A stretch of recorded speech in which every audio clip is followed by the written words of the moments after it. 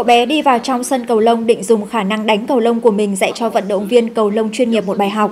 Cậu bé mạnh miệng tuyên bố nhường anh 10 quả. Nhìn đứa trẻ miệng còn hơi sữa đứng trước mặt anh chàng vận động viên quyết định phải dạy cho cậu một bài học. Nhưng mới bắt đầu thi đấu cậu bé đã đập cho anh thua một quả. Vốn tưởng rằng cậu bé chỉ ăn may nhưng ngay sau đó mỗi quả cầu cậu đánh ra đều khiến vận động viên chuyên nghiệp không thể nào đỡ nổi.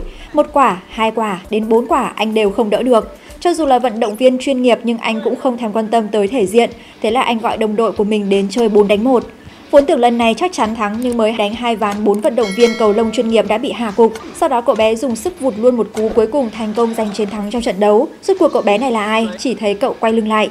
Tôi là Lee Chong Wei. Bốn vận động viên chuyên nghiệp này có lẽ không thể nào ngờ rằng cái tên Lee Chong Wei không chỉ nổi tiếng khắp Malaysia, còn nổi tiếng khắp cả thế giới, để cả thế giới đều nhớ thiếu niên người Malaysia này. Hồi Ly trong quê còn nhỏ gia đình rất nghèo, lần đầu tiên cậu xem thi đấu cầu lông trong Olympic trên TV, cậu cũng muốn được cống hiến sức lực của mình cho đội tuyển quốc gia, đồng thời cậu nói cho bố nghe ý định của mình. Kết quả thứ cậu nhận lại được là sự châm chọc chế nhạo của bố. Lúc đó một cái vợt cầu lông là 8.900, cậu chỉ là đứa trẻ con nhà nghèo không sao mua được. Không có vợt cậu chỉ đành dùng miếng kim loại để tập đánh cầu lông, hàng xóm thấy vậy cứ tưởng đầu óc cậu không bình thường. Hôm đó trường tiến hành một cuộc thi cầu lông quy mô nhỏ, nhưng khi cậu vừa vào sân đã bị trọng tài coi thường. Em đến thi đấu mà không đem theo vợt sao? Trong quay lắc đầu cậu muốn tham gia nhưng không có vợt. Vào lúc trái tim cậu nguội lạnh thì một người tốt bụng ném vợt cho cậu, đồng thời đây cũng là lần đầu tiên trong quay cầm vợt đánh cầu lông. Trên sân cầu lông cậu không có kỹ thuật gì hết, hơn nữa cũng liên tục bị đánh bại. Nhưng đúng vào lúc này ý thức mạnh mẽ của trong quê trỗi dậy, cậu để ý đến cách di chuyển của đối phương lập tức học theo sau đó liên tục ghi điểm, dùng tài hoa hơn người của mình giành chiến thắng, tiếng vỗ tay vang như sấm dậy. Trong quê vui vẻ cầm cúp về nhà, nhưng sau khi bố cậu biết cậu đánh cầu lông lập tức nổi trận lôi đình, còn đập vợt của cậu, đồng thời nói anh nhất định không cho cậu tham gia thi đấu. Nhưng ngày hôm sau chú của trong quay đến tìm cậu năn nỉ cậu tham gia thi đấu cầu lông làm thiện nguyện, còn nói cậu không những được đánh cầu lông còn có thể làm từ thiện. Trong quay không nghĩ ngợi gì nhiều vui vẻ đồng ý, nhưng cậu không biết rằng đây là nơi cá cược cậu bị lừa đến nơi này. Tài năng của Trong Wei trên sân cầu lông cũng khiến nhiều người bất ngờ. Cho dù là người lớn cũng không phải đối thủ của cậu, cậu đánh thắng vài ngày liên tục khiến chú của cậu kiếm được không ít tiền. Sau khi bố trong quê biết được chuyện này, anh tức giận đến tìm con trai. Anh không nói một lời nào, liền kéo con đi. Nhưng muốn rời đi đâu phải là chuyện dễ. Nơi cá cược không dễ dàng thả hai người đi được. Hóa ra bố trong quê không cho cậu chơi cầu lông là vì năm đó anh từ chối không bán độ cho bên tổ chức cá cược nên bị họ truy sát. Bạn tốt của anh cũng vì vậy mà chết, từ đó về sau anh thề không bao giờ đánh cầu lông nữa. Nhưng hôm nay để rời khỏi đây, bố trong quê chỉ đành đồng ý với yêu cầu của bên tổ chức cá cược, hai bố con đánh thắng họ sẽ thả người. Sau đó hai bố con cùng nhau phối hợp đánh cầu. Vì đây là lần đầu tiên hai người đánh chung trong Wei liên tục bỏ lỡ cơ hội tốt, nhưng do có tài năng siêu phàm, rất nhanh cậu đã điều chỉnh lại tiết tấu. Đối thủ của hai bố con cũng bị thua liên tục, sau đó bố trong Wei vượt cú cuối cùng hai người giành được thắng lợi.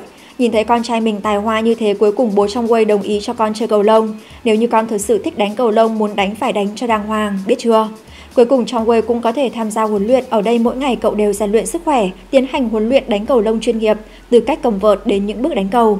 Trong Wei rất chăm chỉ tập luyện, khả năng đánh cầu lông cũng ngày càng tiến bộ. Rất nhanh cuộc thi cầu lông giữa các trường sắp diễn ra. Trong Wei với tài năng kiệt xuất, thế như trẻ tre để đè bẹp tất cả đối thủ từ vòng loại đến tứ kết rồi vào chung kết, trong Wei thuận lợi giành được quán quân. Nhưng vận mệnh như đang trêu đùa cậu bởi vì vóc dáng của cậu nhỏ bé nên không được đội tuyển quốc gia chọn. Trong Wei đau khổ quá khóc. Để cao lên mỗi ngày cậu đều nhảy cao, mẹ cậu cũng ở phía sau động viên cậu. Mỗi ngày đều nấu cho cậu một nồi canh xương, hơn nữa còn buộc một nắm vải trên xa nhà. Mỗi lần tập nhảy cao xong trong Way sẽ đánh dấu lại chiều cao của mình trên cửa gỗ. Mỗi ngày đều tập nhảy cao thực sự sẽ khiến người ta cao lên. Trong khoảng thời gian đó, trong Way tham gia rất nhiều cuộc thi giành được rất nhiều giải quán quân. Nhờ mỗi ngày cố gắng tập luyện, xa nhà trước kia cậu phải cố gắng mới với tới được, bây giờ cậu giơ tay lên đã có thể nắm được nó. Mà hai năm sau cuối cùng cậu cũng đạt đến chiều cao yêu cầu. Lần này cậu phải khiến cả thế giới biết ai là Lee Trong Way.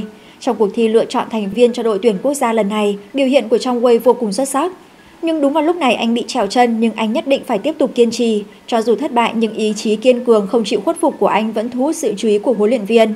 Huấn luyện viên muốn Trong Wei tham gia vào đội tuyển quốc gia, nhưng Hiệp hội Thể thao Quốc gia có rất nhiều người không coi trọng cậu, cho rằng cậu không được huấn luyện chuyên nghiệp chỉ là công trong bầy gà mà thôi. Thế là mọi người chỉ đành giơ tay biểu quyết, may mà kết quả cuối cùng là 8 trên 9. Trong Wei thành công tham gia vào đội tuyển quốc gia, Đến trường dạy cầu lông của Malaysia, đây cũng là nơi huấn luyện cầu lông tốt nhất thế giới. Mặc dù trong Wei chỉ mới 17 tuổi đã rất tài năng nhưng những người ở đây không có ai không giỏi cả. Do cơ thể trong Wei nhỏ bé lại yếu ớt đến những bài huấn luyện cơ bản cũng không làm được, còn bị bạn cùng lớp tẩy chay bắt nạt. Một khi trong Wei thi đấu thua ai cậu sẽ phải giặt đồ cho người đó một tháng. Và lúc trong Wei nghi ngờ cuộc đời thì huấn luyện viên đến tìm cậu, hỏi cậu tại sao lại đến ngôi trường này. Cậu đáp rằng em muốn trở thành người giỏi nhất thế giới. Lúc này huấn luyện viên nói với Trong Wei thầy có thể giúp em thực hiện ước mơ, nhưng em có bằng lòng tin thầy không? Trong Wei biết rất rõ ý của huấn luyện viên là cậu chưa cố gắng hết sức, mà khả năng chơi cầu lông mà cậu vẫn luôn tự hào khi đến đây nó bỗng trở nên vô cùng yếu ớt. Lần đầu tiên cậu có ý định bỏ cuộc, nhưng đúng vào lúc này, lời của một người tốt bụng đã khiến cậu hoàn toàn thay đổi. Những người ở đây không thiếu cơ hội mà là sự kiên trì. Tôi không biết người ở lại có trở thành quán quân thế giới hay không, nhưng nếu đi ra ngoài chắc chắn không thể thành quán quân thế giới. Nghe xong những lời này trong Wei rất cảm động, cậu hiểu ra trên thế giới này không thiếu thiên tài, mà những thiên tài có thể kiên trì đến cuối cùng mới là người mạnh nhất. Cho dù bị cả thế giới cười nhạo và bỏ rơi, trong Wei vẫn sẽ kiên trì, quyết không bỏ cuộc, mang theo lòng quyết tâm như thế. Từng giây từng phút trong Wei đều đang chiến đấu. Chỉ vòn vẹn trong vòng một tuần, cậu từng có thể chất kém nhất lúc nào cũng chạy gần cuối, bây giờ là người chạy nhanh nhất trường. Huấn luyện viên chứng kiến toàn bộ quá trình cố gắng của cậu, cuối cùng trong Wei cùng với 7 người khác được đội tuyển quốc gia lựa chọn để tham gia giải cầu lông toàn Anh mở rộng. Nhưng đến ngày thi đấu, huấn luyện viên đột nhiên đổi cậu thành người khác. Trong Wei không hiểu được vì sao cho dù cậu có khóc lóc năn nỉ cũng chẳng có ích gì, chỉ đành trơ mắt đứng nhìn chiếc xe đi ngày càng xa. Cuối cùng chỉ còn lại một mình cậu đứng khóc dưới mưa. Lúc này trong đầu cậu lại xuất hiện ý định bỏ cuộc. Hôm đó vợ của huấn luyện viên nói chuyện với Trong Wei cuối cùng Trong Wei cũng biết được sự thật, hóa ra huấn luyện viên vô cùng kỳ vọng vào cậu. Mà hôm đó khi bỏ phiếu tấm phiếu quyết định vận mệnh của Trong Wei là do huấn luyện viên bầu cho cậu. Huấn luyện viên không cho cậu tham gia giải cầu lông toàn Anh mở rộng vì biết vết thương của đầu gối của cậu chưa lành hẳn. Tại sao huấn luyện viên lại nghiêm khắc với Trong Wei hơn những người khác? Bởi vì thầy đặt rất nhiều kỳ vọng vào Trong Wei, cũng tin chắc Trong Wei có thể giành được quán quân thế giới. Biết huấn luyện viên quan tâm đến mình nhiều như vậy, cảm giác khó chịu trong lòng Trong Wei lập tức biến mất, cậu càng cố gắng huấn luyện hơn. Không lâu sau trận đấu dự tuyển cho Cúp châu Á đã diễn ra, Trong Wei không ngờ rằng đối thủ lần này của cậu sẽ trở thành kẻ thù lớn nhất trong sự nghiệp của mình. Đây là lần thi đấu đầu tiên giữa hai người mạnh nhất, đồng thời hai người cũng mới bước vào giới. Trong Wei và Lindan, hai người không thể nào ngờ rằng hai người sẽ trở thành kẻ thù lớn nhất trong sự nghiệp của nhau. Nhưng lần này Trong Wei đã bị đánh bại, bại bởi thiên tài cầu lông cùng tuổi với mình đến từ Trung Quốc. Mà một năm sau trong trận tứ kết Trong Wei lại gặp lại Lindan. Mặc dù Trong Wei đã dốc hết sức mình nhưng anh vẫn thua. Mặc dù Trong Wei có thể áp đảo các đối thủ ở châu Á nhưng cậu không sao thắng được Lindan. Thậm chí Hiệp hội Thể thao Quốc gia còn nghi ngờ kiến thức cơ bản của cậu chưa vững, hơn nữa còn muốn từ bỏ cậu. Nhưng huấn luyện viên kịch liệt phản đối, ông cố hết sức bảo vệ Trong Wei. Lúc này Trong Wei vẫn ở trong phòng tập luyện cho dù luyện tập đến mức bị thương vẫn kiên trì. Lúc này huấn luyện viên chất vấn cậu, em có biết tại sao em lại thua không? Do thể lực quá kém. Không phải do thể lực của em không đủ, bởi vì em tạo cho mình áp lực quá lớn. Em chiến đấu vì huy chương vàng như vậy có gì sai sao? Lúc này trong quê không biết rằng kẻ thù lớn nhất của cậu không phải là Lindan mà là chính bản thân mình. Huấn luyện viên cũng bằng lòng lấy sự nghiệp của mình ra để đánh cược, ông dồn hết hy vọng giành được quán quân đặt lên người trong quê. Lại đến một mùa giải cầu lông toàn Anh mở rộng lần nữa, lần này ở trận tứ kết trong quê lại gặp lại Lindan. Đối mặt với đối thủ đã đánh thắng mình hai lần, trong Wei quyết dốc hết sức để chiến đấu, nhưng thiên tài Lindan vẫn khó nhằn như trước.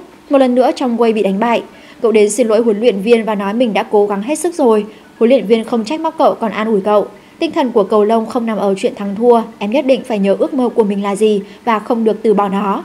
Lần này đến giải cầu lông Malaysia mở rộng, cặp oan gia kia lại gặp nhau ở trận chung kết. Vô số người dân đang ngồi trước màn ảnh nhỏ xem trận thi đấu căng thẳng này. Chỉ trong vòng 2 năm, hai thiếu niên thiên tài đến nay đã trở thành tuyển thủ xuất sắc nhất thế giới. Trận đấu của họ vô cùng gay cấn. Rất nhanh hai người mỗi người giành chiến thắng một ván. Ván thứ ba cũng là ván cuối cùng trong Wei vẫn yếu thế hơn. Khoảng cách điểm là 13 và 20. Lindan cũng đến quả mấu chốt, cậu còn thiếu một điểm nữa là có thể kết thúc trận đấu. Lẽ nào trong Wei lại một lần nữa bị hạ gục sao? Đúng vào lúc này những cảnh tượng trước đây lần lượt xuất hiện trong đầu trong Wei. Cậu nhớ lại lần đầu cầm vợt cầu lông, sự nhiệt tình khi theo đuổi ước mơ một lần nữa xuất hiện. Nhớ lại những người tin tưởng và ủng hộ mình, gia đình đang mong đợi, người chú tặng cho cậu cái vợt đầu tiên và huấn luyện viên luôn tin tưởng cậu.